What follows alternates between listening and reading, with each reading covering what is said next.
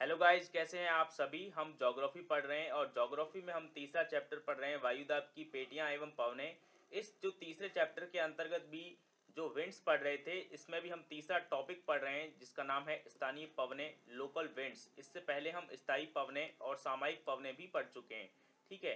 देखिए, स्थानीय पवने होती क्या हैं? लोकल विंड्स लोकल विंड्स आपको नाम से ही पता चल रहा है, किसी स्थान विशेष पर चलती हैं ये, उसके वहाँ पर जो तापमान एवं वायुदाब के अंतर के कारण यहाँ पर जो पवने चलती हैं, उन्हें यहाँ पर स्थानीय पवने कहते हैं। किसी स्थान विशेष पर चलती हैं, जो जिस भी स्थान पर ये पवने चलती हैं, वहाँ की जलवायु पर, वहाँ की सनातनी पवनों पर, वहाँ के वायुमंडल पर काफ़ी असर छोड़ती हैं अपना। ये असर नकारात्मक भी हो सकते हैं और सकारात्मक असर भी हो सकते हैं। तो समझ रहे हैं आप? तो पॉजिटिव इम्पैक्ट भी डाल सकते हैं और नेगेटिव इम्पैक्ट भी डाल सकती है ठीक है? जैसे अगर हम पॉजिटिव इम्पैक्ट की बात करें तो कुछ स्थानीय पवने हैं, जैसे चिनुक है, फॉन है और हरमट्टान है, हरमट्टान को वहाँ पर डॉक्टर भी कहा जाता है है ना? और ब्रिक फिल्डर है तो ये कुछ सकारात्मक इफ़ेक्ट डालने वाली स्थानीय पवने हैं।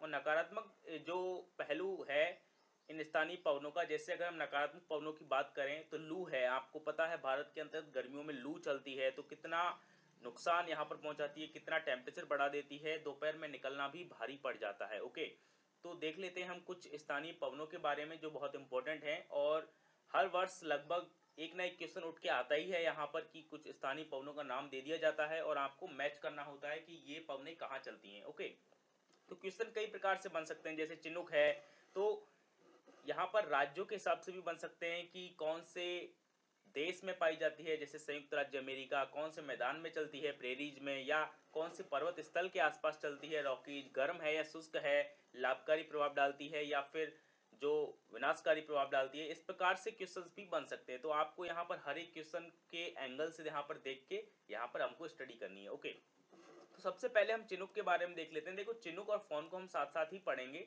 ये दोनों हवाएँ एक ही प्रकार की हवाएँ हैं, एक ही प्रकार के गुण हैं।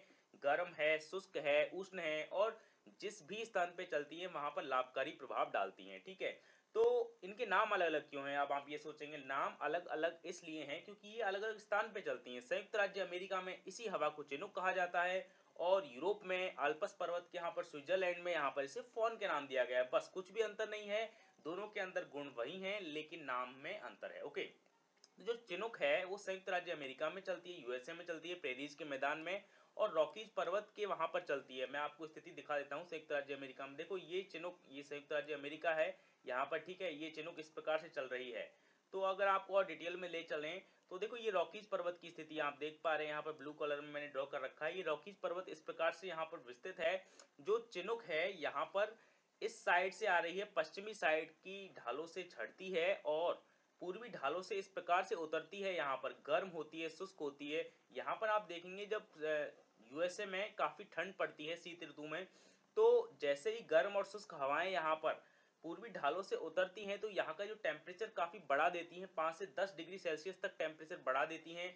यहाँ पर जो ग्रीष्म ऋतु का एहसास करा देती हैं मतलब पाँच से दस डिग्री अगर टेम्परेचर घट जाए अचानक से सर्दियों में तो आपको काफ़ी अच्छा एहसास होगा, काफ़ी सुहावना मौसम लगेगा और यहाँ पर शीत ऋतु में चारागाह खिल जाते हैं। यहाँ की जो बर्फ़ होती है, वो पिघल जाती है, इसीलिए इस हवा को हिम भी कहते हैं। तो आपको समझ में आ गई बात कि जो चिनुक हवाएँ कितनी यहाँ पर लाभकारी प्रभाव डालती है। इसी प्रकार की यहाँ अगर फ़ोन की बात करें तो फ़ोन भी यही होता है कि आल्पस पर्वत यहाँ पर मौजूद है। यहाँ पर यूरोप में देखो, यहाँ पर इस प्रकार से। तो आल्पस पर्वत के दक्षिण ढालों से चढ़ती है यहाँ से फ़ोन और उत्तरी ढालों से उतरती है।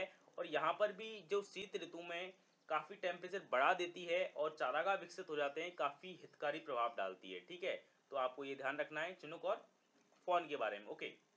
तो आपने इन दोनों की स्थिति देख ली है। चिनुक और फ़ोन, यहाँ पर मैंने वर्ल्ड का मैप लिया है जिससे कि आप, हम, आप भी एक मैप ले लें जिसमें ये ड्रॉ कर लें जिससे कि आपको बहुत आसानी रहेगी याद करने में, ठीक है? तो अब हम देख लेते हैं सिरोको हवा। सिरोको हवा देखो इटली में चलती है। इनका नाम अलग अलग अलग अलग जगह पर है अलग अलग स्थान पर। जैसे कि इटली में इसे सिरोको कहा जाता है, सहारा में इसे सिमूम कहा जाता है, लीबिया में गिबली कहा जाता है, ट्यूनेशिया में चिली कहा जाता है, स्पेन में लेवेस कहा जाता है, ओके? तो ये एटलस पर्वत से यहाँ पर चलती है। गर्म और शुष्क होती है, इसे रक्त वर्षा ब्लड रेन भी कहते हैं, विनाशकारी प्रभाव डालता है। देखो, मैं आपको ले चलता हूँ यहाँ पर मैप की ओर। ये देखो, सिरोको चल रही है। आप यहाँ पर अफ्रीका के मैप में देख रहे हैं। ये सिरोको हवा यहाँ से चलती है और और भी आपको मैं डिटेल में ले चलता हूँ। ये देखो, सहारा का मरुस्थल है। आप देख पा रहे हैं, ये देखो, ये सहारा का मरुस्थल है कहाँ पर? अफ्रीका में। तो जो हवा है सिरोको यहाँ से चलती है। यहाँ से जो हवा स्टार्ट करती है चलना और यहाँ के जो सहारा के मरुस्थल से लाल जो धूल के कण होते हैं, मिट्टी है, उसको उठा लेती है और यहाँ पर आप देख रहे हैं भूमध्य सागर है। ये देखो बीच में आप खाली जगह देख रहे हैं। तो ये भूमध्य सागर से ये जो हवाएँ चलती हैं यहाँ पर, लाल जो धूल के कणों को लेते हुए यहाँ पर आर्द्रता ग्रहण कर लेती है भूमध्य सागर से। और यहाँ पर इटली, फ्रांस और यहाँ पर जो यूरोपियन यहाँ पर आप हिस्सा देख रहे हैं, यहाँ पर है ना, इटली का हिस्सा है, दक्षिणी। तो यहाँ पर आप जब बरसात करती हैं तो लाल धूल के कणों को भी गिरा देती हैं साथ में। तो यहाँ पर लोग इसे ब्लड रेन कहते हैं, रक्त वर्षा के नाम से भी जाना जाता है। समझ रहे हैं आप? तो इस पवन को आप देख रहे हैं, यहाँ पर ये एटलस पर्वत है, यहाँ पर अफ्रीका में, ठीक है? एटलस पर्वत से उसी प्रकार से चढ़ती है। यहाँ पर उत्तरी ढालों से दक्षिण ढालों से चढ़ती है और उत्तरी ढालों से उतरती है यहाँ पर, ठीक है? तो आप देखेंगे, यहाँ अलग अलग नाम है। जैसे कि सहारा में मैंने आपको बताया कि इस, इसी हवा को सिमुम कहते हैं। ये सहारा का ये सहारा स्थल आप देख रहे हैं सहारा का मरुस्थल है। ये देखो इस प्रकार से, ठीक है? लीबिया में इसी विंड को गिबली कहा जाता है। यहाँ पर आप ट्यूनेशिया की स्थिति देख रहे हैं, इसे चिली कहा जाता है, ठीक है? स्पेन में इसे लेवेस कहा जाता है। तो ये आपको ये चीज़ें ध्यान रखनी है, ओके? तो अब हम बात करते हैं नेक्स्ट पवन की। नेक्स्ट पवन है यहाँ पर हरमट्टान, ओके?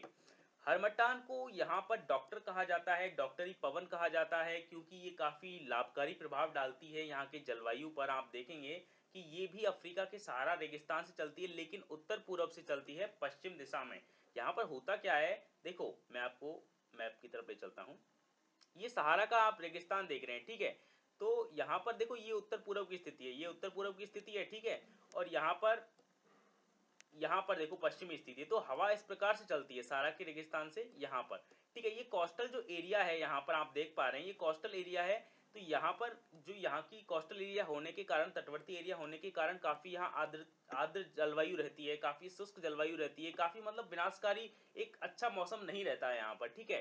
तो जैसे ही ये गर्म हवा यहाँ से चलती है, यहाँ के सहारा के रेगिस्तान से होते हुए निकलती है यहाँ पर तो यहाँ पर जो आर्द्रता को हटा देती है, आर्द्रता को प्रतिस्थापित कर देती है और यहाँ का मौसम शुष्क और उष्ण कर देती है, जो काफ़ी लाभदायक मौसम हो जाता है यहाँ पर। समझ रहे हैं आप? कोस्टल एरिया होने के कारण यहाँ पे आर्द्र और शुष्क मौसम रहता है, काफ़ी अच्छा मौसम नहीं रहता है।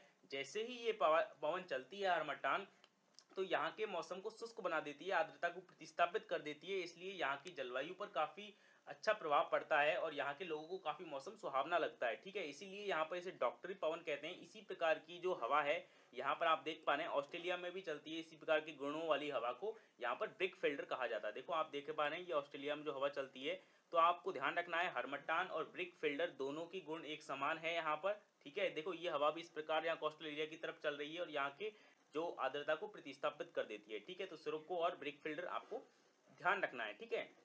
अब हम बात करते हैं मिस्टल हवा की। मिस्टल जो हवा है, वो स्पेन एवं फ्रांस में चलती है। ये काफ़ी शीत पवने होती हैं, काफ़ी ठंडी पवने होती हैं। देखो, जो सामान्यतः इसकी स्थिति क्या होती है, सामान्यतः ये 50 से 60 किलोमीटर प्रति घंटे की स्पीड से चलती हैं, काफ़ी ठंडी पवने होती हैं, है ना? लेकिन कभी कभी बहुत ज़्यादा तेज स्पीड से भी चलती हैं 130 किलोमीटर प्रति घंटे की स्पीड से चलती, चल सकती हैं ये, है ना? और यहाँ पर जब ये इस प्रकार से इतनी तेज स्पीड से चलती हैं ना तो वायुयान के चलने में भी काफ़ी कठिनाई होती है। इसीलिए जो इसके समकोण पे जिस दिशा में ये हवाएँ चलती हैं, उसी समकोण पर यहाँ पर झाड़ियाँ और पेड़ पौधे लगाए जाते हैं, जिससे कि इस हवा के प्रभाव को कम किया जा सके। समझ रहे हैं आप? तो यहाँ पर मिस्टल एक प्रकार से विनाशकारी प्रभाव डालती है, ठीक है?